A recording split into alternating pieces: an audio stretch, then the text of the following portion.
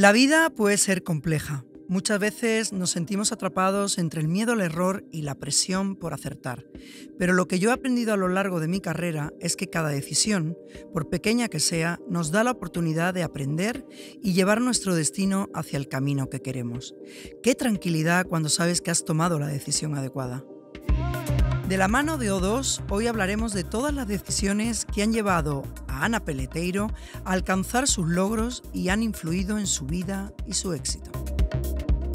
Si hay una decisión que yo tengo clara y sé que es un acierto, es O2. La compañía de fibra y móvil que te ofrece la tranquilidad de saber que siempre contarás con la mejor conexión y con personas al otro lado que te escuchan cuando tienes un problema. O2 es momento de elegir bien.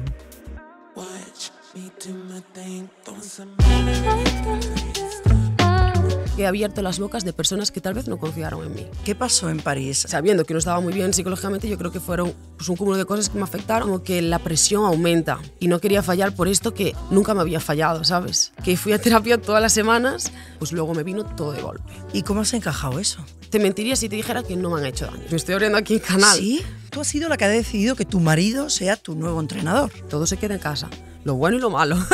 Quiero preguntarte por las declaraciones de Vinicius. Creo que está habiendo un cambio. España como tal no es un país racista sino clasista. Ellos llevan siete años esperando a poder adoptar en este país. Yo toda mi vida he sabido que soy adoptada. No tenía nada más que mirarme al espejo. Como mi madre biológica murió y me dice mi madre, ¿qué dices, Ana? No murió mi madre, la que me parió. Y me dice, no, o sea, tu madre te abandonó. Que yo a mi madre biológica no le guardo ningún rencor.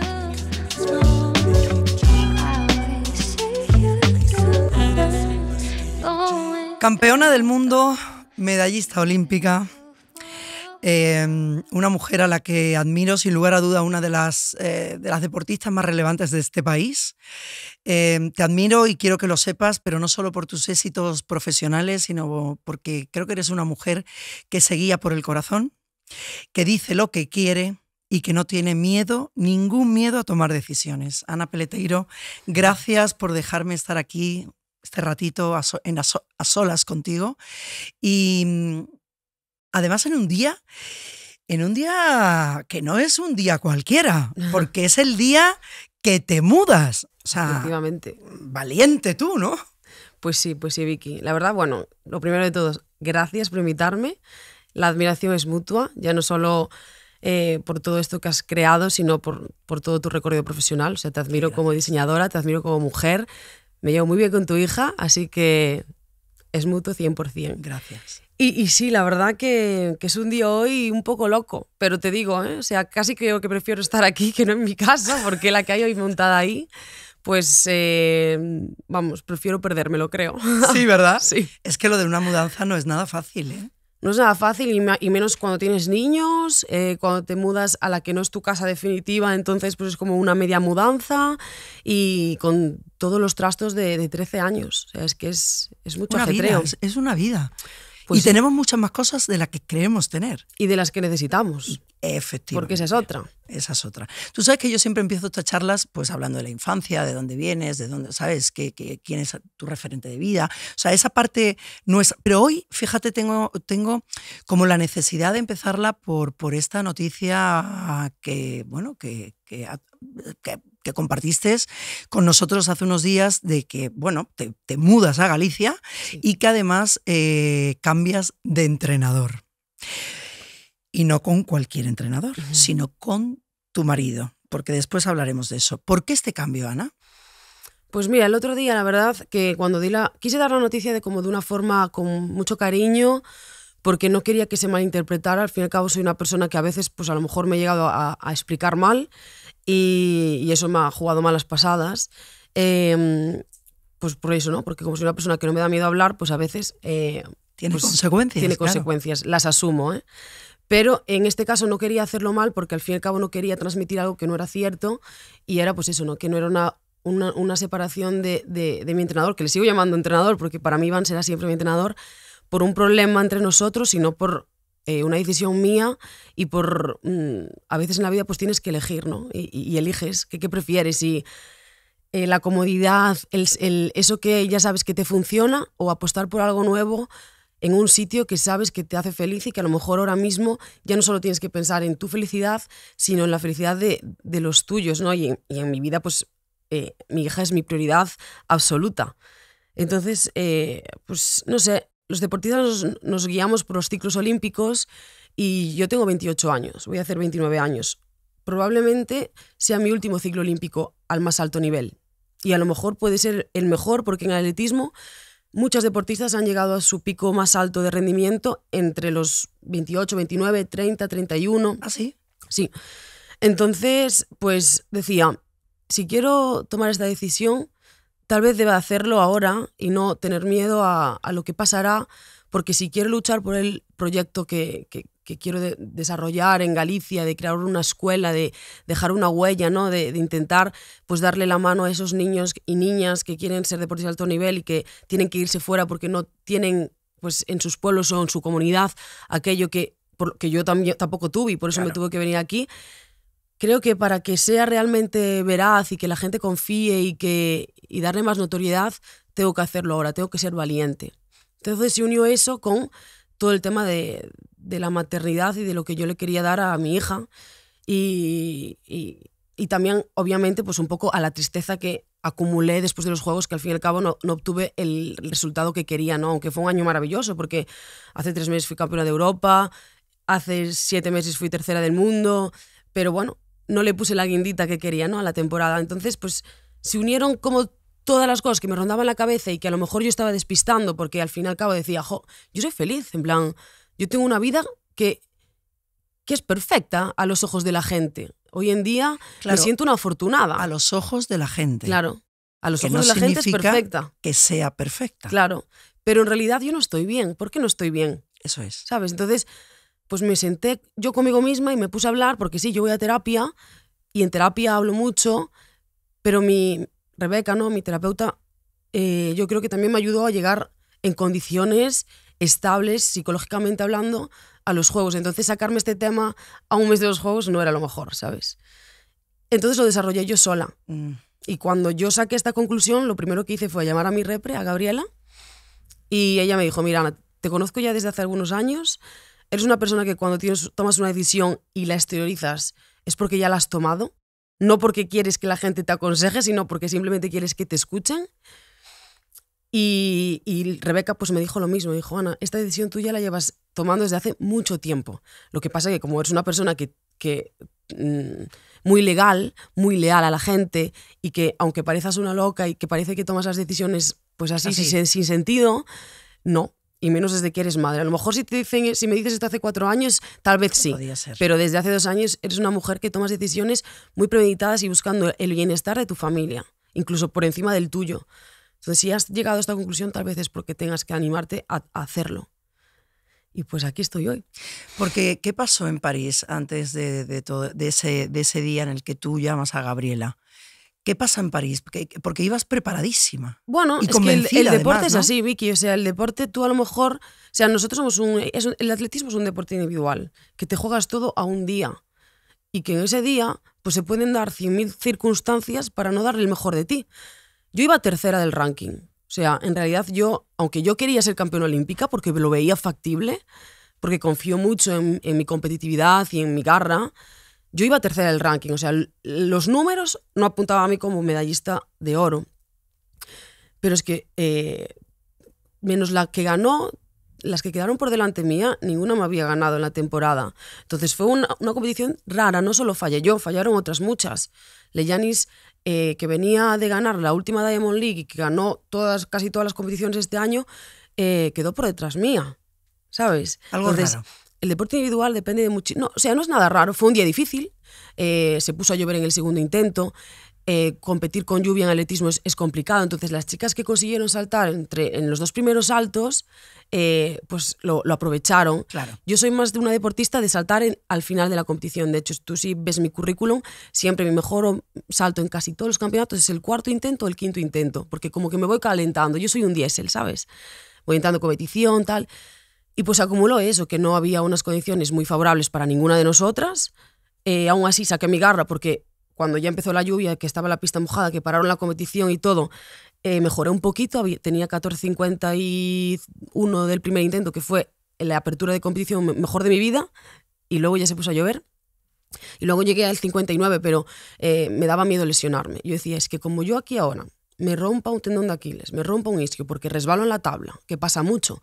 Las tablas hoy en día de atletismo, las tablas de batida son muy lisas y hay muchísimas personas que se lesionan por, porque deslizan con el pie en la tabla. ¿Crees que eso te influyó también, el miedo a...? Tenía miedo, tenía miedo a lesionarme, porque yo decía, es que a lo mejor me veo con 28 años, una hija eh, y una lesión que me aparta dos años y a lo mejor digo, pues mira, aparto el atletismo temporalmente, vuelvo a tener otro niño y mis prioridades cambian, ¿sabes? Yo sabía que estaba en un momento tan sensible anímicamente que tal vez cualquier cosa que pasara me iba a apartar de mi objetivo, que era seguir al más alto nivel y estando que y, sabiendo que no estaba muy bien psicológicamente, yo creo que fueron pues, un cúmulo de cosas que me afectaron. o sea, que reconoces que no estabas bien psicológicamente. Fíjate que escuchándote hablar, eh, recuerdo el día que vi el, documental de Simón eh, Biles, y, me quedé muerta cuando, cuando esa mujer se rompe en Tokio y, fíjate, o sea, tenía todo todo. Todo para ganar. ¿Cómo se aguanta esa presión? Porque ella llegó, o sea, ella se rompe allí, pero venía rota. Sí, o sea, muchas veces pasa eso, que al fin y al cabo, como tienes un objetivo tan, tan importante, porque aunque en atletismo siempre lo digo, el Campeonato del Mundo y los Juegos Olímpicos en realidad tienen la misma importancia. Incluso a veces tiene más relevancia el Campeonato del Mundo porque solo hay atletismo en la televisión. En los Juegos hay muchísimos deportes, ¿no? Entonces la gente ve deporte, ve mucho deporte, pero ve todos los deportes.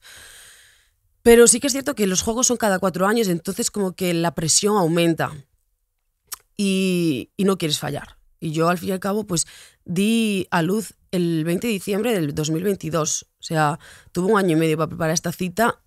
He dejado por el camino muchísimas cosas y no quería fallar por esto que nunca me había fallado, ¿sabes?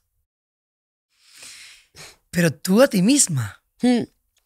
Pero porque hay que ser fuerte en esta vida y aunque yo exteriorice, yo soy una persona que nunca voy a exteriorizar cómo me siento, al menos públicamente, o me cuesta mucho. Entonces, claro, yo sufrí mucho este año porque tuve que abdicar de muchas cosas de mi hija, me he perdido muchos momentos con un objetivo y que cuando estoy a punto de alcanzar el objetivo, pues que esto me falle, wow, yo decía, no puede ser. Entonces estaba, yo estuve el último mes y medio que fui a terapia todas las semanas para que no, para que no me pasara eso.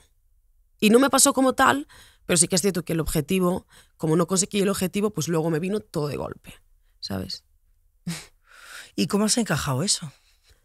Pues mira, Em, peor de lo que lo suelo encajar. La verdad. Y me estoy abriendo aquí el canal. ¿Sí? Pero me ha costado un poquito, sí. Lo bueno es que acabaron los juegos y me fui a mi casa, a Galicia, con mi familia, con mi niña, con mis hijastras, con mis amigos, con mi, con mi vínculo que me hace sentirme bien y en paz, ¿sabes? Pero he recibido muchísimo odio en redes sociales, ha sido muy duro, mucho... Pues la gente se me ha tirado muy encima yo siempre digo que no me afecta lo que me dicen en redes, pero cuando se dicen mentiras, pues sí que me afecta, ¿sabes? Porque al fin y al cabo, pues que una persona no le caiga bien por cómo soy, pues eso, hija, pues no se puede cambiar. No, no, no, claro. Hay cosas que eh, eh, esta soy. La vida es así, o sea, le, gustarás a mucha gente y, y, otra mucha, pues no le gustarás, o, incluso el tema odiar, yo no lo entiendo, la verdad, porque odiar sin que te hayan pues mm, hecho daño a un familiar tuyo o algo tan muy directo, ¿no? Pues la verdad que no lo entiendo, pero bueno, Creo que aquel que odia es porque tiene un interior como muy feo y al fin y al cabo solo exterioriza aquello que es, ¿no? Siempre lo digo. Pero recibir tanto odio sobre un tema que eh, me parecía tan injusto, yo decía, jova, o sea, a ver, qué he fallado en este campeonato, en plan... Y que a lo mejor a veces me, me equivoco en algunas declaraciones y se pueden sacar de contexto y pues obviamente la gente que no le caigo bien y que no soy santo de su devoción las van a usar para hacerme daño. Y la verdad te mentiría si te dijera que no me han hecho daño. O sea, me ha dolido. Pero me he sabido refugiar en la gente que me tenía que refugiar para canalizarlo bien, sacar una motivación extra para eh, querer ser incluso una mejor versión de mí y tal vez hacerme incluso más valiente y aprovechar ese mes de vacaciones y de desconexión para tomar tal vez la decisión más importante de mi vida, ¿sabes? Que ha sido... Sí, porque llevo 13 años fuera de casa Esta, y... ¿no? Sí. Y yo te pregunto, si el resultado de los juegos hubiera sido diferente, si tuvieras, eh, si hubieras, si tuvieses esa medalla eh, en tus manos, eh, ¿hubiese sido la misma decisión? Seguro que no me hubiese atrevido. Y no porque no fuese lo que hubiese necesitado, pero creo que no sería capaz de dejar a, a Iván después de un gran resultado. A lo mejor lo hubiese tomado en enero, ¿eh? pero creo que las cosas de la vida suceden siempre por algo, ¿sabes? Y esta vez sucedió así, cuando tal vez era el campeonato en el cual era más claro que iba a ganar medalla, porque en el Mundial de Pista Cubierta yo llevaba, llevaba un año de posparto. ¿Quién iba a decir que me iba a colocar entre las tres primeras con un salto de, de récord de España de pista cubierta? Nadie. Y de repente apareció la Virgen y pasó. Campeonato de Europa, tres cuartos de lo mismo. Y en los Juegos, que era cuando supuestamente estaba como mejor estado de forma y como más segura, más fuerte y más mentalizada, fallé. Y tal vez eso pues fue mi destino, ¿sabes? O sea, tal vez mi destino me está diciendo, aquí ya. Esa frase que yo siempre repito mucho, además en estas charlas, de que todo pasa por algo y lo que no también. Todo. Yo creo que, que es así. Sí, y que aparte, tenía que pasarte esto. Que Vicky, o sea, el mundo del deporte es, es muy, muy desagradecido y la realidad es que yo soy mucho más que eso. Entonces, pues que mi currículum me hubiese gustado tener una medalla más olímpica, por supuesto, pues que la vida sigue y si no la tengo, no pasa nada. O sea, eso es. A mí si me ponen, ¿qué prefieres, a tu niña o una medalla olímpica? Digo, mira, mete la medalla olímpica donde te quepa, ¿sabes?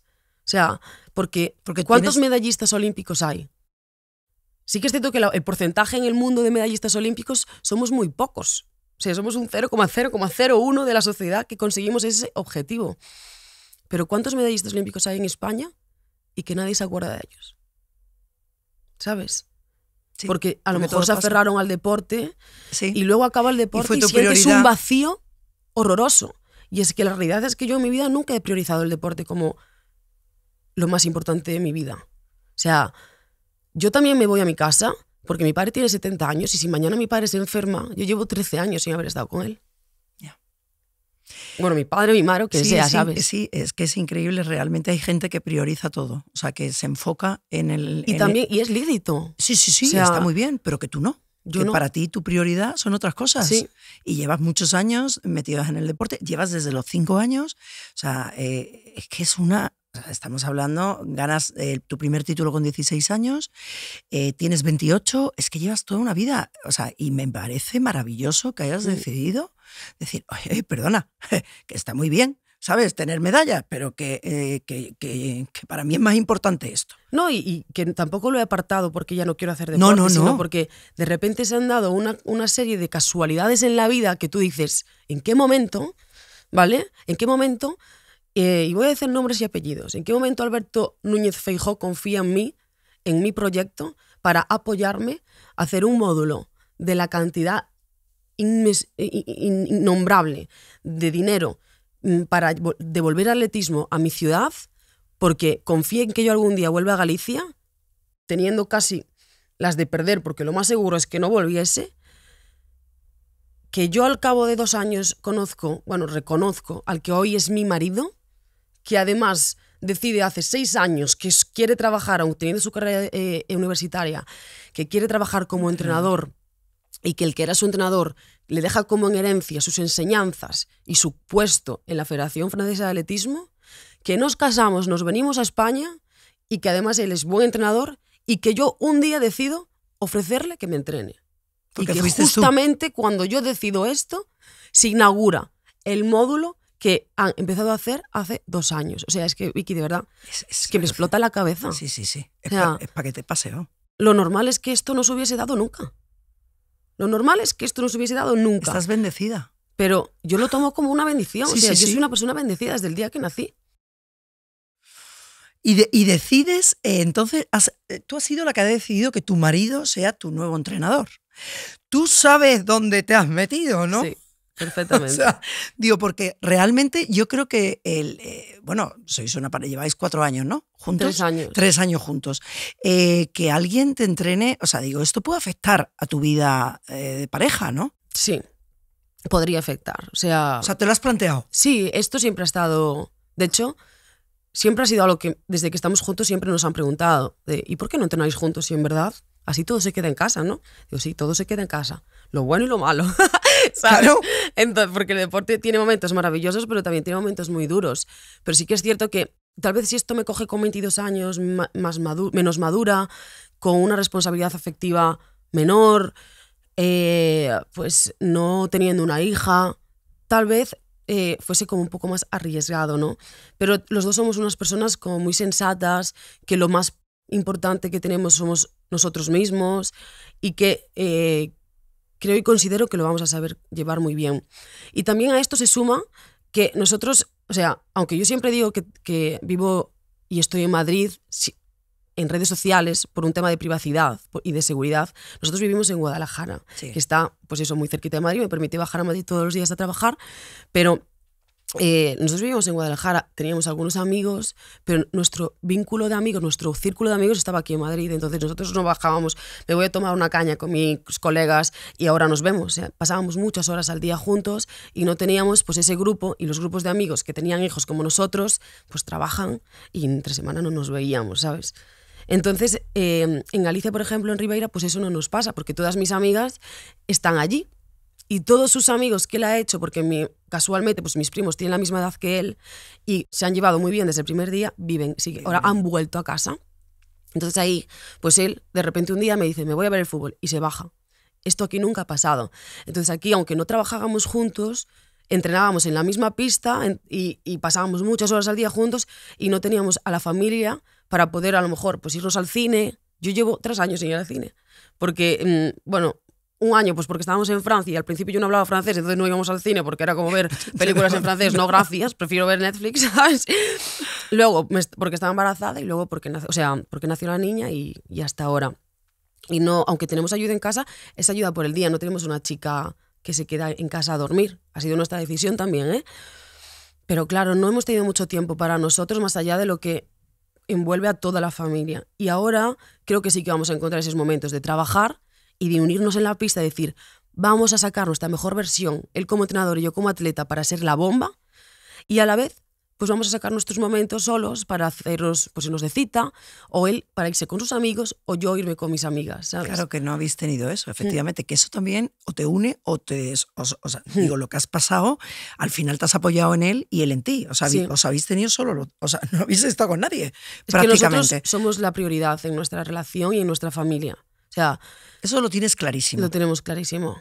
Y mm, no le veo el miedo, la verdad. O sea, no tengo miedo porque sé con, quién me estoy aliando. Y sé que Benjamin, em, así como yo, hay veces que a lo mejor tengo un poco afán de protagonista y no lo niego, soy hija única y eso me va a perseguir toda la vida. Me encanta que lo reconozcas. Lo reconozco 100% y lo he trabajado para que para no hacer sentir mal al que está a mi lado, porque a veces pues, cuando es una persona con mucho carácter, si estás al lado de una persona con menos carácter, lo puedes llegar a achicar. Sí.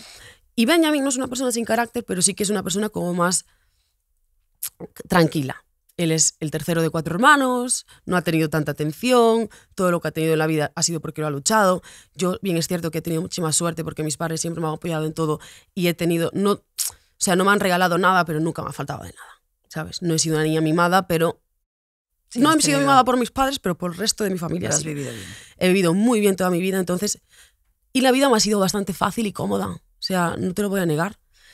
Entonces creo que un poco de ese carácter, que yo soy la primera que a veces me escucho y digo, esta niña es una petarda, ¿sabes? Porque digo, es que yo no soy así, en verdad, en mi casa, ¿sabes? Pero a veces como creo que toda mi vida he tenido que luchar un poquito eh, para hacerme de valer y que no me comieran, pues a veces puedo llegar a sacar como una parte de mi carácter que en realidad no soy yo, pero como a la defensiva, ¿sabes? Y no me gusta, ¿eh? Lo estoy intentando trabajar, pero él no es así. Él es muy fácil, tiene mucho carácter también, pero eh, es más fácil que yo, yo creo. Entonces, juntos hacemos muy buen equipo, porque yo tengo esa garra de decir, vamos a trabajar y tal, y él tiene como, no sé, esa forma de, te voy a abrazar, te voy a dar ese cariño que necesitas, porque eh, como un león en la selva, en plan, a veces necesito una caricia en la cabeza, ¿sabes? Y él me la da, y me la sabe dar, pero también me sabe enfadar cuando lo necesito. Entonces creo que vamos a hacer muy buen equipo. Un tándem perfecto, ¿no? Y si no lo hacemos, no pasa nada. Ya está. ¿Sabes? La vida sigue. y, si tenemos que dejar de trabajar juntos, pues dejaremos de trabajar juntos. Y vuelvo con Iván, que sé que va a recibir con los brazos abiertos, porque mi relación con Iván está mejor que nunca. Y además que la gente no lo sabe, pero es que Benjamin y Iván se conocen desde hace más tiempo que Iván y yo.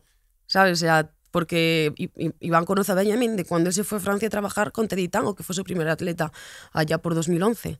Entonces, son, ambos tenemos nuestra relación propia con, con Iván y una relación por separado que, que, que los dos queremos cuidar. No, y una, y Entonces- una relación de respeto, de admiración también a, a Iván, o sea, digo, No, no, o sea, y una yo es amistad que para siempre. Para ¿no? toda la O sea, vida. que que- De hecho, te digo.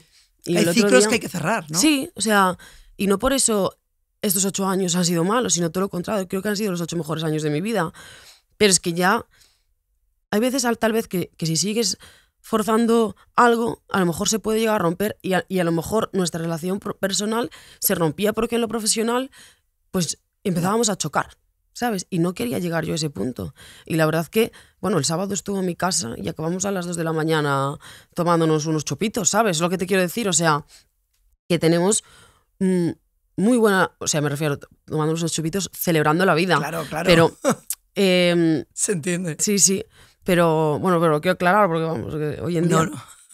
Pero que estoy súper orgullosa del punto en el que estamos ahora mismo.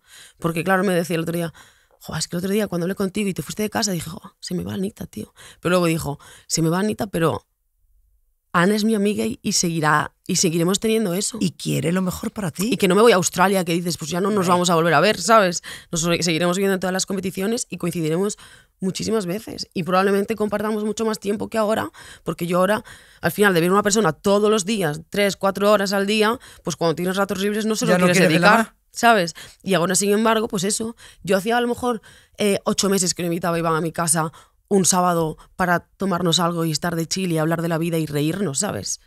Y ahora pues sí que me apetece hacer eso. Y antes a lo mejor pues no me apetecía porque ya estaba harto de verle la cara, ¿sabes? ya no quería.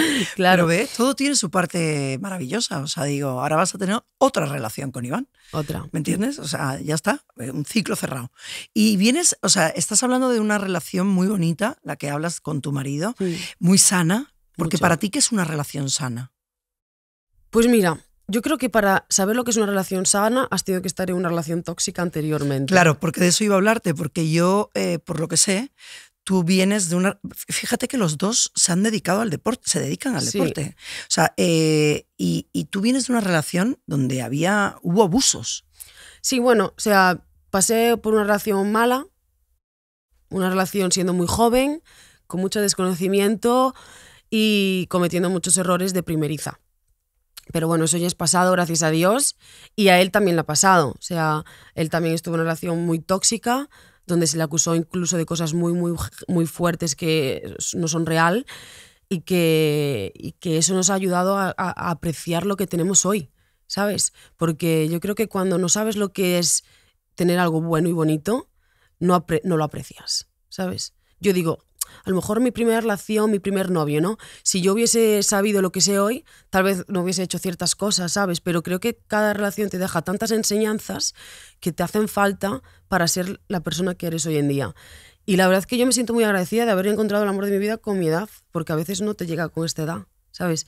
Y mm, a lo mejor me equivoco, pero no me veo con otra persona porque no nos veo sin tenernos, ¿sabes? O sea, es como Bonito. nos encontramos en 2016, hubo una conexión brutal, lo que a mí me dio mucho vértigo empezar con él porque él ya tenía una niña, yo me veía muy joven y muy loca y muy me faltaba mucho Madrid, ¿sabes? Por, por, por recorrer, Por patear. por patear y muchas cosas que aprender. Y, y creo que eso en la vida también me dijo, este momento no es el momento de coger tú a este hombre porque te va a tratar muy bien y tú lo vas a machacar, ¿sabes? Fíjate.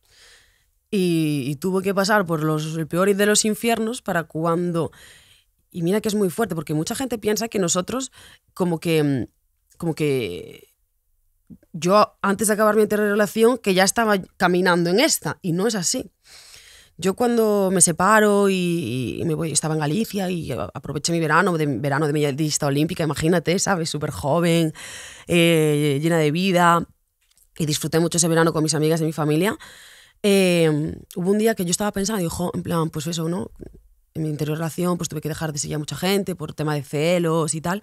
Voy a volver a seguir a, mucho, a muchas personas, y no solo hombres, ¿eh? mujeres también, que yo no tengo nada en contra de ellos y que en verdad han formado parte de mi vida y sus vidas me interesan, porque yo sigo a gente que me interesa su vida o que conozco o tal, ¿no? Y lo seguí, pero es que casualmente el día anterior yo había ido al hormiguero. Entonces, claro, ese día a mí me siguió mucha gente en redes. Bueno, pues mira cómo es la vida, que él me había seguido hacía cinco minutos en Instagram. Y claro, él vio que yo le hice follow back y dijo, esta chavala sigue interesada en mí, ¿sabes? Pero en absoluto, yo no lo había visto. O sea que, llámalo coincidencia, Sí, llámalo locura, bueno, estaba- pensamos el uno o el otro en el mismo momento, después también de una separación, dos separaciones muy traumáticas, y la vida nos volvió a unir. Y a los ocho días yo estaba en París. Estaba para ti. Y a los cinco minutos de verlo ya le había dado un beso en la boca. O sea, imagínate. o sea, no perdí el tiempo. de verlo. Fue como mucha conexión desde el primer momento. Y, y no sé. Qué o bien sea, que la vida te haya regalado. Sí, es Pero has muy hablado, loco. pero has, estas- has hablado eh, de que me he quedado ahí con esa, el peor de los infiernos. Hmm. Es que te voy a contar, Vicky, o sea... Es que no tampoco es un tema del que me gusta hablar porque creo que ya ha pasado hace Sí, mucho pero tú sabes tiempo. qué pasa, que yo eh, que he escuchado algo, he leído algo, me interesa, pero no por nada, no por curiosidad, porque la verdad que hay cosas que mejor no, hay veces no, que, habla- que no hay que hablarlas, ¿no? Para no, porque, bueno, darle... Ni digo, darle al final protagonismo a Claro, que a no algo que que, no, lo tenga. que no, no, no, que no queremos que lo Mm. tenga, que no queremos. Pero fíjate que tú te enteraste de que sufrías estos abusos gracias a que escuchaste a una mujer hablar de eso. hablar de eso, eso y, hablado, dijiste, verdad, y ¿eh? dijiste, uy, yo reconozco que yo estoy pasando por lo mismo. Entonces, por eso te digo que esto no es por, eh, por curiosidad, sino simplemente porque a lo mejor hay muchas mujeres Sí, que nos van a ver, que te que van a ver, escuchar, sí. y que están en el peor de los infiernos sin saberlo y van Y a decir, ay, Dios mío. Mm. Porque te voy a decir una cosa, yo recibo muchos mensajes de mujeres viviendo una situación, Sí. o sea, que están viviendo algo que yo, de verdad, yo contesto, yo intento contestar Claro. y decir, sal de ahí, pero es que me cuentan cada cosa que a mí- yo me estremezco, Mm. o sea, A me mí da me- miedo. Me escriben también muchas niñas, la verdad, porque han escuchado pues, la entrevista en la que yo hablé de todo esto. Yo siempre digo que yo doy gracias a que la vida me puso en mi camino a mi amiga Cintia, conocida en redes sociales como Cindy Takayashi, porque fue gracias a ella que yo me di cuenta de lo que estaba viviendo. Y es, es muy triste, la verdad, ¿sabes? Tener tan poca eh, educación sexual para no localizar esto, este tipo de comportamientos. Eh, porque yo creo que sí que hay educación sexual y cada vez más, pero eh, a mí al menos no me habían dicho que eso también se puede sufrir de tu pareja, aunque sea tu pareja, ¿sabes? Entonces, claro, eh, yo cuando me di cuenta de esto, yo ya estaba con, con mi actual marido, ¿eh? Yo ya había salido de ahí, pero claro, fue como en plan, wow, que yo he pasado por esto, tío, y no era consciente. Y me, y me hicieron creer que eso era normal Claro. por mi inexperiencia. Hoy no me hubiese pasado, pero, pero pasa mucho y pasa muchísimo. Y no solo nos pasa a las mujeres también, ¿eh? O sea, de decirte porque mi marido ha sufrido también, También, ¿no? Por la otra parte. Lo que pasa que obviamente pues la ley y la sociedad protege a la mujer porque nos tienen que proteger, ¿eh? Pero también existe el otro lado y eso es una realidad. Sí, sí, sí. Entonces, eh, bueno, pues creo que es importante hablarlo, pero tampoco entrar mucho, sí, no. no. eh, o al menos yo por mi parte, porque es algo que ha pasado Sí, hace sí, mucho tiempo, que no- cada uno ha hecho su vida y que no ya. quiero saber nada de No, no, plan, escúchame. y ¿sabes? ya, estás en otra. eh, de-. Pero fíjate además que Pero lo que sí me comentas es que, que es que, que los dos hayáis pasado por lo mismo. El timing ese que de repente lo conoces, pero Bueno, él no por era- algo muchísimo peor, ¿eh? la verdad. Bueno. pero, pero bueno, Pero bueno, ha digo, sufrido también. pero ha ¿sabes? sufrido. Mm. Y a- hayáis sufrido los dos, le conoces, te das cuenta de que no es el momento porque tú estás en otra. ¿Cómo volvéis a, a reenganchar? O sea, Es una locura, pero bueno, nuestra locura es mágico, maravillosa. es mágico. Eh, tenemos una familia increíble, mucha gente tampoco lo entiende, ¿no? Dice, pero ¿cómo te vas a casar con un hombre que ya tiene cuatro hijos? Y yo, pues mira, hija, porque prefiero lo- casarme con un hombre Claro. que tiene cuatro hijos que con un hombre que no tiene ninguno, que no sabe lo que es tener un hijo, que a lo mejor tenemos uno y nos separamos, ¿sabes? Es que tener un hijo es también muy, dife- Sí, muy pero, difícil. pero, sí, pero ¿por qué tenemos esa cosa de, ay, no, igual que a mí? O sea, igual que a mí, que la- eh, eh, es que te vas a fijar, es que tiene hijo, y, yo, ¿y qué quiere? Pero si yo no me estoy fijando en los líos, es que a mí me hace feliz él, Claro. ¿sabes? Si a ti, a ti te hace feliz tu marido, que viene con, bueno, ¿y qué hacemos? ¿Y qué pasa? Y que aparte, mira, eh, mis padres también se asustaron mucho un poco con esto, ¿no? Eh, y hubo un día que, que mi tía me dijo, y le dijo a mis padres, pero vamos a ver, que sí, que tiene cuatro niños, pero mm, que son cuatro niños completamente sanos, que lo único que van a traer a esta familia es felicidad. Vamos a intentar gestionar esta, esta situación con las respectivas madres de la mejor forma posible y vamos a ser felices.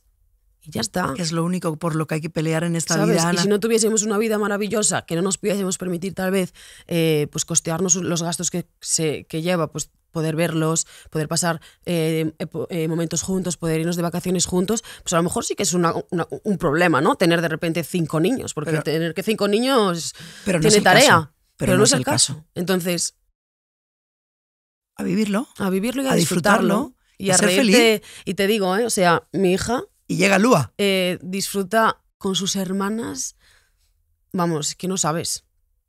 Las adora, Sí, ¿no? las adora. Y ellas la adoran a ella. Entonces ya está. O sea, ¿qué más quieres? Cuando estábamos todos es una locura, ¿eh? O sea, siete. es una locura, pero es una locura maravillosa. Y no daría marcha atrás. Y me encanta la familia que tengo. Yo siempre he soñado con tener una familia numerosa. Y he tenido familia numerosa sin tener que parirlos, ¿sabes? Que eso es lo más. O sea que. Porque la verdad que dar a luz es, es una otra historia. Tienes toda la razón. ¿Tendrías más? ¿Quieres tener alguno? Sí me gustaría tener Sí, un niño ¿no? más, pero no ahora. No, ahora no. Ahora estoy muy concentrada en mi carrera próximo- profesional, tanto a nivel atletismo como todo el tema de las empresas, que quiero seguir creciendo, pero sí que a lo mejor después de Los Ángeles me animaría a, a darle un hermanito más a Lua, porque aunque tiene hermanas, pues me gustaría pues todos los días que compartiese, porque yo no he tenido hermanos, me he criado con mis primas, han sido como mis hermanas, por eso muchas veces la ge- la gente se raya porque yo digo mis sobrinos o mis hermanas, y es que tengo la costumbre de a mis primas primeras llamarles hermanas, pero en realidad no son mis hermanas. Y sí que me gustaría, pero bueno, tampoco quiero forzarme. Por ahora tengo a Lua, soy muy feliz y a lo mejor en cuatro años no me apetece nada, ¿sabes? O sea Claro. que dejarnos llevar. Claro, claro, claro. No hablemos, no hablemos con esa, ¿no? De cuatro años. Madre mía de mi Hmm. es vida. que cuatro años. Lo que puede pasar. ¿Cuál ha sido el reto eh, el, el, eh, más complicado que te has enfrentado ah, después de ser madre? Después de ser madre, pues yo creo que un poco el, la- el- juicio público, el, el- el que me juzgaran tanto, el, el sentirme, el que me retiraran. Eso me dolió un poco, la verdad. Decir, jova, ¿por qué me están retirando si yo solo voy a ser madre? O sea, esto dura nueve meses, hay lesiones que duran mucho más. Sí, porque qué difícil, ¿no? Mm. La mujer en el Y ya de por ¿no? sí la ser como maternidad- que se termina todo, ¿o qué? Se termina todo. Y, y salieron notas de prensa diciendo que, se- que, que anunciaba mi retirada, ¿eh? Digo, jova, yo creo que lo he exteriorizado bastante bien y lo he explicado bien. Aparte que eso también me puede afectar a, mí, a, a, mi- a mis patrocinadores, a mi imagen. Y tuve como que luchar mucho durante todo el embarazo y durante todo el posparto para demostrar que eso no era así. Pero a la vez también me dio alas para a los seis meses estar de vuelta en la competición saltando por encima de los 14 metros. Y a los 12, a los 13 meses ganando una medalla en un campeonato del mundo. Tal vez si callaste no hubiese... bocas, ¿no? O sea, es una forma de callar bocas. No me gusta decir que callo bocas, porque Pero- creo que es dar la atención a aquellos que no la merecen, sino que he abierto las bocas de personas que tal vez no confiaron en mí. Y a mí eso me gusta más. Todas formas, yo no hago nada para... mm, aunque la gente piense que eh, es que hace una rueda de prensa para anunciar todo esto. No, o sea, yo no hago las cosas para llamar la atención de la gente, yo hago las cosas porque la gente me presta atención y y, es que no puedo evitarlo. O sea, ¿qué hago? Si yo anuncio esto y sale en todos los medios de comunicación del país, pues es que no, no es mi culpa. O sea, no, yo no llamo a todas las... eh, mira, es que voy a cambiar de entrenador, saco una nota de prensa diciendo esto. No. Si eh, yo hago, digo lo de Iván y de repente eh, mi representante recibe más de 50 llamadas de periodistas para querer entrevistarme, yo no puedo atender a uno por uno y perder... mm, ¿Cuánto dura una entrevista? No, no, no. 40 horas de mi vida. una rueda de prensa. Hago una rueda de prensa punto. de la mano de la federación, me han abierto las puertas de su casa, que también la siento como mi casa porque es la federación en la que llevo mm, cientos de años, y atiendo a todos los medios de comunicación por igual. Se convocan a todos los medios que quieran venir y que vengan los que quieran, y al final acabaron viniendo más de los que estaban convocados. Yo, eso no es mi culpa. Y a veces me siento culpable. Y digo, "Joder, es que me siento mal porque parece como que estoy todo el rato queriendo llamar la atención y no quiero que la gente se lleve esa Esa parte de mí, esa imagen de mí, porque no es verdad, ¿sabes? Pero sí que es cierto que pues, hoy en día soy una persona que crea interés, sea para bien o para mal, y me lo tengo que comer e intentar gestionarlo de la mejor forma posible, que no es fácil. No, Mm. no lo es. Y hay veces que ha sido, o sea, digo, que, que has tenido que dar explicaciones que por temas que no son del deporte, ¿no? Que no tienen nada que todo, ver con, todo el rato. con y, el y deporte. mira que por mira que qué? me lo dicen que no de explicaciones, pues que hay veces que digo, jova, o sea, lo último, la última, la última movida, llamarme racista, digo yo, madre de Dios, tío, de verdad. Pedí disculpas en su día por, por, por, ese comentario que al fin y al cabo estaba, era un, una, una, entrevista cortada y luego cortaron y, y, y, y, parece que realmente, pero esta niña es tonto, ¿qué le pasa? ¿Sabes? Pero es que yo lo, de lo que estaba hablando era de todo lo contrario, de la igualdad de mi deporte, de lo guay que es el atletismo, que es un deporte súper igualitario, tanto para eh, a nivel de, de, de feminismo, de, los hombres somos iguales que las mujeres. ¿Tú crees? Sí, en atletismo sí, tía, es maravilloso. ¿Tú lo crees, de verdad? Sí. ¿Tú No, crees que el, del, en el deporte no es mucho más complicado? En el deporte sí, pero en el atletismo, en el atletismo no. es súper igualitario. De hecho, hay niñas que ganan muchísimo más dinero que otros niños y viceversa. O sea, en el, en el Anda, atletismo no depende de tu carisma, de lo cómo seas de bueno como atleta y luego también de lo que tú exteriorices también a la hora de comunicarte, ¿sabes? Y luego hablé mucho y hablé de que, y que tampoco hay diferencias entre razas, ni culturas, ni nada. Y también, Lo que pasa es que yo soy una persona que habla mucho con, y cada vez menos, por esto, eh, pues el humor negro ese, ¿no? Eh, muy sarcástica. el sarcasmo, eh, la y a- ironía- y, a, el- veces me juega malas pasadas. claro, y la yo, ironía. yo vi ese vídeo antes de que se publicara. Y como lo vi entero, dije, bueno, la gente lo va a entender. ¿Sabes? Pero de lo que estoy hablando. Pero si cortas y Pero pegas, si cortas y pegas, no. Y, y pedí disculpas porque entiendo que si se corta, se entiende mal. Pero es que no tiene ningún tipo de sentido cuando yo me he criado en una sociedad completamente blanca. ¿Sabes? O sea, yo mi familia no tengo a nadie. Yo soy adoptada, o sea, me refiero. No. Yo, ¿cómo voy a ser? Es que, ¿cómo voy a ser yo racista? Es que no me, no me entra en la cabeza. O sea, no me entra en la cabeza. Entonces, claro, pues tener que explicar eso y aunque lo expliques, ver que nada cambia, eso sí que me, me dolió. Pero ya digo, mira, es que, ¿para qué voy a seguir explicándolo si total me van a seguir juzgando y, y esto ya me lo van a llamar toda la vida, ¿sabes? Entonces, Sí. pues mira, hay veces que... me quedo con la gente toda que me quiere, que es muchísima. Lo que pasa es está. que, claro, Sí, al final los que tampoco- hacen ruido tampoco hacen mucho ruido. Hace mucho ruido, pero tampoco hay que aprender, Sí, ¿sabes? A que te entre por un oído y te salga por el otro. Eso y me también hay que aprender a, a, a disculparte. Ujú. En plan, pues mira, tal vez me haya expresado mal, esto no es lo que Sí, quería pero las decir. disculpas no se quedan. pero O la sea, digo, disculpa no se queda. digo, pero yo estoy tranquila, claro, ¿sabes? Claro, eso yo es estoy en paz conmigo misma y, y, y aquellos que me han querido escuchar me han- o leer, porque re- hice como un comunicado escrito, eh, me han leído y me han escuchado y me han comprendido y han entendido que la gente pues a veces se equivoca en cómo eh, comunica las cosas y que es muy difícil estar todo el día comunicando cosas y nunca equivocarte. Por eso yo también muchas veces cuando critica a personas que tienen eh, programas en directo, en prime time, y dicen, es que este tío es un imbécil, es que este tío no sé qué, es que esta tía es... pa-". Digo, oye, es muy difícil hacer un programa en directo y hacerlo todos los días bien, porque no todos los días tú estás bien contigo mismo, ¿sabes? No, no, es complicadísimo. Y después que somos menos libres hoy que antes. O sea, antes Sí. yo, yo siempre digo, oh, no, ahora son. No, La somos- libertad de expresión No, no, no, no. hasta Hoy, hoy hay que medir muchísimo lo que se dice, Mm. que es una putada, ¿eh? Para mí. Yo que mm, suelto lo que me viene, Mm, ¿sabes? Me imagino que como tú. O sea, veo, porque tú dices lo que quieres. De- del tema de la adopción vamos a hablar después, si no te importa, No, pero, absoluto. pero mm, quiero, quiero preguntarte por las declaraciones de Vinicius. ¿Qué opinas de que diga de que, de que España es un país racista y que tiene que aprender mucho sobre esto y ver- que no debería ser la sede del Mundial si esto sigue así?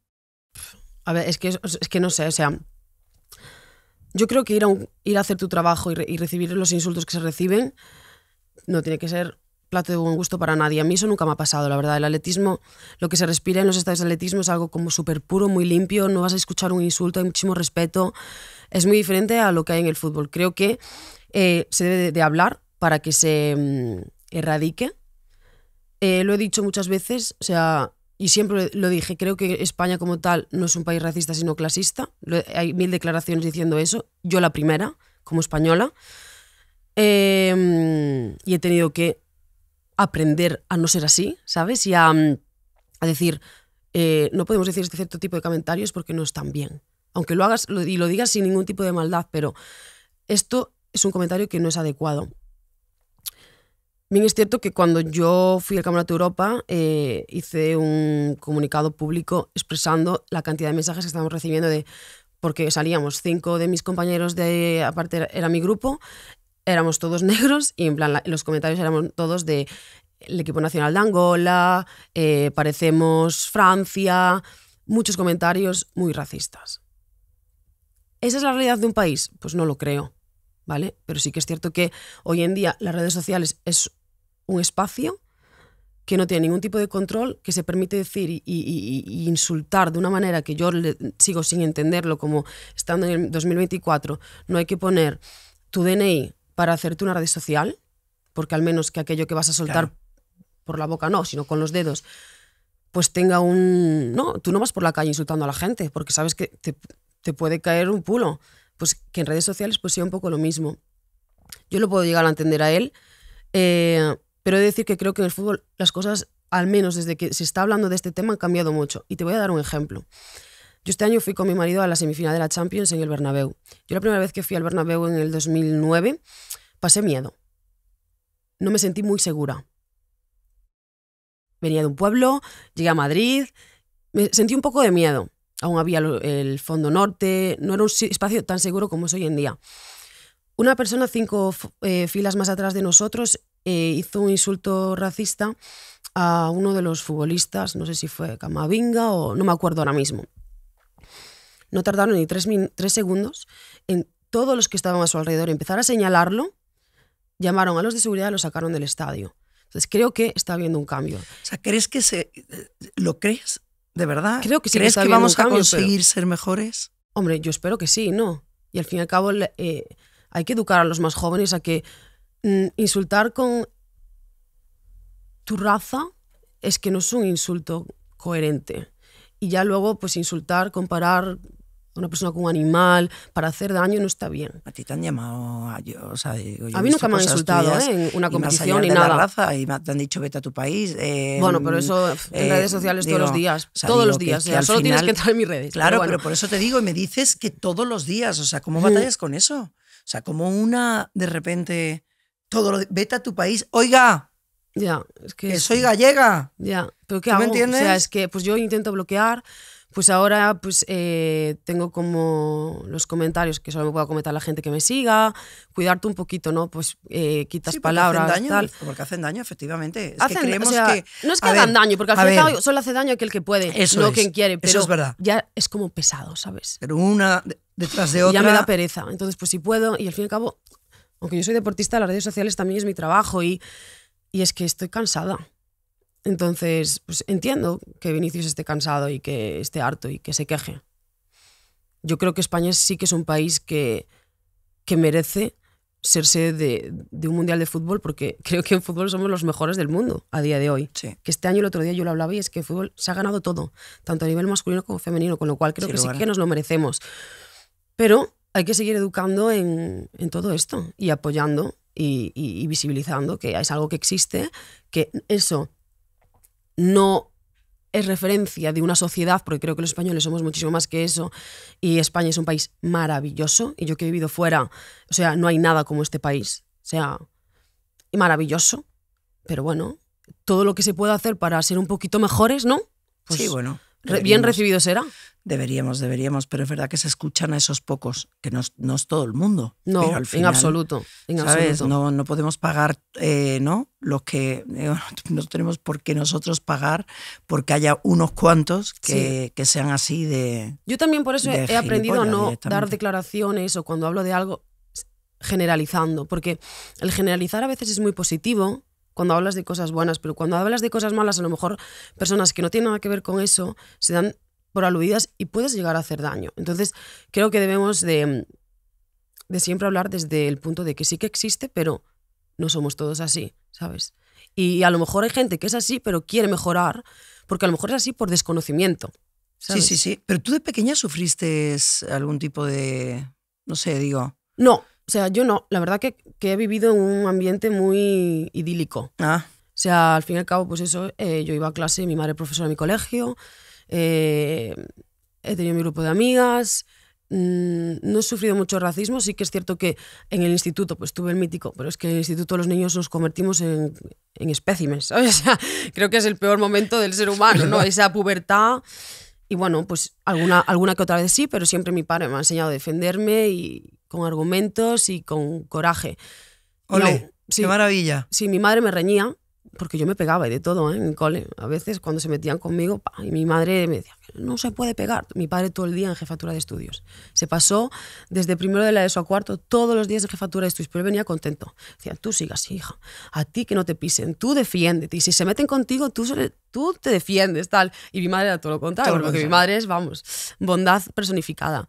Y aparte es profesora, entonces claro, era como pero en ese sentido creo que mis padres siempre me han sabido guiar, me han dado cada uno una de cal y otra de arena y han sabido pues mm, hacer que yo pasara por esa época que es complicada para todos los niños de la mejor forma posible. Y también el hecho de ser deportista y tener resultados desde pequeña me ayudó, pues no era la popular, porque nunca fui la popular, pero sí que, pues bueno, era la peleteiro, era guay, iba con los, a las competiciones, ganaba medallas, tal. Y ya... Entonces, pues eso me ayudó. Claro, te ayudó. Hablando de tus padres, eh, estuvieron siete años, ellos llevan siete años esperando a poder adoptar en este país. Es decir, que tengo que corregir esto. Porque ah, vale, mi madre, corrígelo. Mi madre, cuando yo a veces hablo, y en plan hablo, pues sin saber. En plan, porque pienso que lo sé y en realidad no lo sé. Y yo creo que es un poquito el síndrome del hijo adoptado que te montas tus películas de cómo es tu vida, ¿no? Y, mm, y, me dijo, no fueron siete, Ana, fueron eh, cuatro años. Ah, cuatro años. O sea, estuvieron cuatro años para adoptar, ¿no? Sí. ¿Y llegaste tú? Llegué yo. A su vida. Sí. Pero a mí, me, a mí hay algo que me parece alucinante y es que, eh, o sea, tú tienes tu madre biológica que te da luz y te deja en su casa. En su casa con 18 años y te deja en la puerta de un hospital, ¿no? Porque ella se da cuenta de que no puede darte una vida. ¿No? O sea, te ha dado la vida, pero no te puede. Claro, que era por eso. A mí me impacta muchísimo que tú no juzgues, hayas llegado a entenderla, a aplaudirla. Prácticamente de decir, yo eh, valoro que ella eh, en ese momento pensó, oye, no voy a ser capaz, pues la voy a dar en adopción, ¿no? Hasta ahí has llegado. O sea, me parece de una generosidad, de un es brutal, Ana, por mucho que... Es que generosidad la suya, ¿eh? Yo que soy... ¿y generosidad la suya. O sea, tú imagínate dar, dar a luz a tu hija y tener que darla. Yo me puedo morir, ¿eh? O sea, yo solo de pensarlo me dan ganas hasta de llorar. En plan...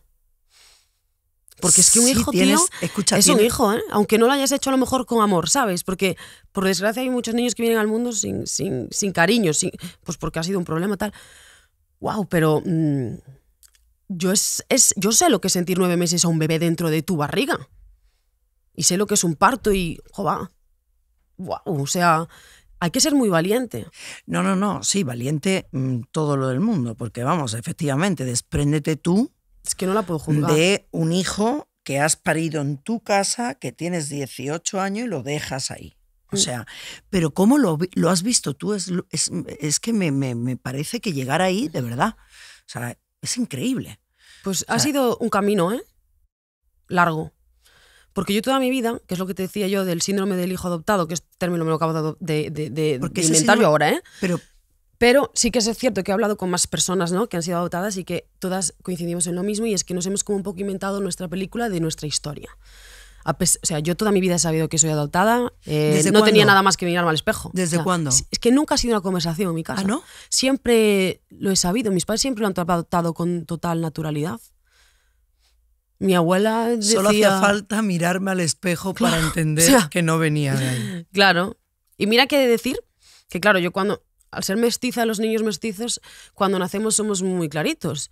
Y mi padre eh, es blanco, pero él eh, pues tiene una bisabuela que era brasileña y tiene algún que otro rasgo, pues más, em, pues tiene la nariz como más redondita, eh, más que yo incluso. Eh, y cuando era pequeña todo el mundo decía, y José Manuel, es que la niña es igual a ti. Y mi padre así, mm, claro, ¿sabes? Porque no vas a estar explicándole lo mismo a todo el mundo. Y, mm, y, me decían que me parecía mi padre. Luego ya fui creciendo y ya te van saliendo los ricitos, ya se, pues se va viendo que soy una niña no mestiza. Entonces, em, nunca ha sido un tema de conversación en mi casa, hasta el 2016 que yo de repente estábamos comiendo viendo los Juegos Olímpicos de Río, que yo me quedé fuera por una lesión, y le dije a mi madre, solté un comentario como, va, no sé qué, eh, porque le estaba hablando, y claro, porque como mi madre biológica murió, y me dice mi madre, ¿qué dices, Ana? Le digo ¿qué? No murió mi madre, la que me parió. Y me dice, "Em, no, sea, tu madre te abandonó. Yo fue como, "Ah, Esa es una de las películas que tú has Claro. creado. yo solita, yo solita. O sea, que tu madre pues estaba muerta, que falleció. Claro, que, me había, que había fallecido en el parto y que por eso, pues claro, que con dos días de nacer mis padres me adoptaron. Porque claro, mi mamá se había muerto, entonces no se podía hacer cargo. Yo creo que fue un poco eh, en mi cabeza como para evitar un dolor de un abandono, que si a lo mejor no tienes una madurez, eh, no eres Sí, capaz de llegar ser. ahí. Porque ser, asumir un abandono, Tienes miedo al abandono. claro, yo, yo, o sea, cuando esto lo sé, yo ya trabajaba con mi terapeuta y a partir de ahí yo empecé a entender muchísimas cosas de mi vida. O sea, yo discutía con una amiga y yo no estaba triste, yo tenía, yo estaba, o sea, yo no estaba rabiosa, yo estaba triste porque yo tengo mucho miedo al abandono. Me da mucho miedo porque es algo que he sufrido desde el día que nací. ¿Y nunca has tenido la cosilla de, de buscar a tu madre? No, nunca, la he tenido.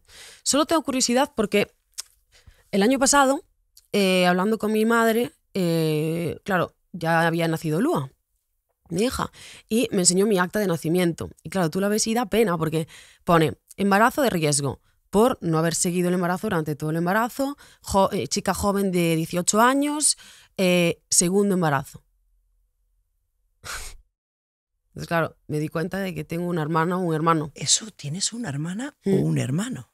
nunca nadie me ha buscado, o al menos no ha llegado hasta mí. O a lo mejor porque tampoco lo sabe. ¿Tú me entiendes lo que Ya, te digo? no sé, no sé, no O sé. será porque tampoco Pero yo sabe creo que, tú o sea, eres si su mi hermana. madre biológica está viva, tiene que saber quién soy fijo. Porque salgo en prensa, es un tema del que yo nunca he, que he despistado, en plan, siempre lo he hablado. te has escondido, sí, cierto, pero He dado bastante información, nunca me ha escrito, o sea, que si está viva, que a lo mejor no lo está. Nunca me ha buscado y lo agradezco. Porque tengo una vida muy bonita y a lo mejor todo eso me desestabiliza un poquito, ¿sabes? Si me encuentro algo que. Si me encuentro una persona sana que ha hecho su vida, pero si me encuentro a lo mejor algo oscuro, a lo mejor me duele, ¿sabes? Mm. O a lo mejor quiero ayudarle y es complicarme la vida. No. mejor quedarnos así. ¿no? Yo prefiero quedarme así, porque he recibido un amor tan bonito y tan puro por parte de toda mi familia. Yo quiero que Nunca hables me ha faltado de nada. De hecho, siempre he sido como la nieta favorita, aunque a mis primos les duela que lo diga, pero es que es la verdad. O sea, yo he sido la favorita de mis abuelas. ¿Es lo que es? Es la realidad. Yo llegué y ellas ya tenían nueve años, entonces fui la novedad, ¿sabes? Y, mm, y con mis padres, pues siempre una educación espectacular, siempre he viajado, eh, me han dado un nivel cultural increíble, me siento una afortunada. Y al- mm, nunca he tenido esa necesidad de ¿para qué algo más? Y ya estoy, es que ya, ¿qué puedo más? O sea, ¿qué puedo tener de más? Ella a mí siempre me lo dice, me dice, es que tú no eres consciente de la suerte que tienes. Y yo, sí, sí, sí que lo soy. O sea, y, y a, a años que van pasando y a gente que voy conociendo, más, Más. orgullosa estoy y agradecida. Es brutal. No, la verdad que sí. O sea, pues te digo que yo a mi madre biológica no le guardo ningún rencor porque es que me ha dado el mejor regalo de mi vida. O sea, mis padres, Carmen y José Manuel, dos luces. Vamos. No puedes pensar en, en- ni en el día que se puedan ir, ¿verdad? No, no, no, ni, quiero, ¿eh? Ni quieres, ¿verdad? No. Porque, joder, eh, No, no, es que no me... Yo ahora mismo, mira, el otro día me hicieron una pregunta y me dijeron, ¿a quién quieres más, a tu hija o a tu madre? ¿y qué Porque ahora que soy madre, soy más consciente de cómo me quiere a mí la mía, ¿sabes? Y yo digo, pues tío, en plan, no te sé decir, porque yo mi hija me necesita a mí, ¿sabes? Pero yo aún necesito a mi madre, muchísimo, para Mm. todo. Entonces yo las, las no, no, no... Hombre, pues prefiero que mi madre se muera antes porque es ley de vida, Sí, ¿sabes? Pero, que se muera dentro de muchos años, tío. Pero muchos, ¿eh? Vieja, muy viejita. Y que yo la tenga que cambiar los pañales si hace falta. Como hizo ella con, con- con la suya. Hasta el último de sus días. Con mi abuela, que se murió en su casa. maravilla escucharte. Sí. Pero. Pero es que las necesito a las dos. Y cada vez más. No porque me tenga que ayudar a cuidar a Lua, ¿eh? Sino porque cada vez escucho más a mi madre. Y ya antes no la escuchaba tanto, tal vez. ¿Sabes? Sí, claro, porque cuando a mí me pasó también en el parto, ¿no? Cuando yo di a luz, miré a mi madre que estaba conmigo dentro y, y le dije, eh, en este momento, o sea, ahora mismo acabo de entender cuánto me quieres. Sí, porque es como Y la empiezas a apreciar muchísimo más, ¿verdad? mucho más, mucho más. Y a dedicarle como más has hecho tiempo llorar? y más momentos. Sí, a ver, yo estoy como. He llorado tanto esta semana, creo que tengo un regulador de eh, hecho exteriorizar las lágrimas que me estoy sorprendiendo yo a mí misma, porque he, intent- he casi llorado cinco veces desde que Sí, llego aquí. eh, he notado, eh, hay un momento en el que Mm. la voz se, Se te me rompe un poco. En la, en la voz, pero me has hecho llorar de Mm. verdad, de verdad, de verdad, vamos. Bueno, a mí no me... A ver, es que tu familia también sois una familia Sí. de mujeres súper Sí. empoderadas. Yo es que me encanta ver a tu madre. Sí, además en con una redes. historia de amor también, mi madre Sí. difícil, o sea, digo, em, que es la que ha querido y es la que decidió, pero, ¿sabes? Eh, mi madre no se enteró nadie que estaba embarazada de mí y se fue a parir sola, ¿sabes? Mm. A Sevilla, sin conocer a nadie, se quedó en una pensión allí y, y allí apareció con un- una hija. O sea, digo, eh, también... Bueno, y me han faltado muchas cosas también. Eh, tú has tenido cosas. Bueno, la verdad es que eh, tú no has echado en falta, porque yo creo que cuando no tienes, o sea, digo, cuando no, dices tú, yo sabía que yo era adoptada, lo tenía clarísimo, me miraba al Claro. espejo y lo tenía claro, pero no te ha faltado de nada, No, no me ha faltado a lo En el mejor fondo, una figura paterna. ¿sabes? Y tampoco. O he tenido, mm, pues, la vida me ha dado todo para ocupar esos espacios que a lo mejor sí que hubiese tenido en otras circunstancias, porque a, los primera, a la primera familia que llamaron cuando yo llegué al hospital no me quiso, porque pues era una niña mestiza y no querían, en 1995 en Galicia una niña mestiza, ¿sabes? Sí. Yo lo entiendo. Y de hecho, solo el, el- Imagínate cuánto mis padres deseaban ser padres, que les dio absolutamente igual. Y a lo mejor, pues mi abuelo no le hubiese hecho gracia, ¿sabes? Porque de aquella en Galicia, Claro. eh, el, el- el juicio público en el pueblo era muy importante. Y era como, ahora Juan Bautista tiene una nieta negra, ¿sabes? Sí. y a lo mejor, o sea, hoy en día daría igual, pero en aquel momento tal No, vez no, claro, mi abuelo podría hablando- no haberlo aceptado. Y en absoluto. O sea, Por eso. en absoluto, ¿eh? Por eso es que, o sea, si pudieras cambiar algo de tu vida y dices... ya, Aunque no fuera para nada malo, pero simplemente el cotilleo, Sí, ¿sabes? el cotilleo, simplemente por- por, eso. Sí, sí, solo por eso. Solo por eso. Pero digo, yo me, me pregunto, digo, Ana, si tú tuvieses que cambiar algo en tu vida, ¿cambiarías algo? No, tío. O sea, creo que no cambiaría absolutamente nada. A lo mejor alguna declaración que he hecho por, por, por evitarme de recibir X mensajes, pero es que ni eso, porque digo, pues al final Pues forma parte de, de mi Claro. vida, ¿sabes? Y Y, hoy soy la mujer que soy y eso me hará más fuerte y me, hará, me dará un aprendizaje más. Pero creo que no cambiaría nada porque todo me ha dejado algo, sea positivo o sea negativo. Y si soy hoy la mujer que soy, es gracias a todo esas, eh, todas esas vivencias que he ido teniendo y que he ido ten- pues, asumiendo a lo largo de estos 28 años, que bueno, por ahora son los que he vivido y son bastantes. ¿Qué le pides al futuro? Pues mira, yo solo pido siempre salud. Porque yo creo que con salud todo lo demás Puedes puede venir. O sea, tú puedes pedir dinero, que como mañana te salga una enfermedad, pues mira, te mueres pobre, te mueres rico, ¿sabes? Yo solo pido salud y, y, y el todo lo demás yo lo pongo. Las ganas de trabajar eh, y la felicidad y el coraje, yo de eso me ocupo.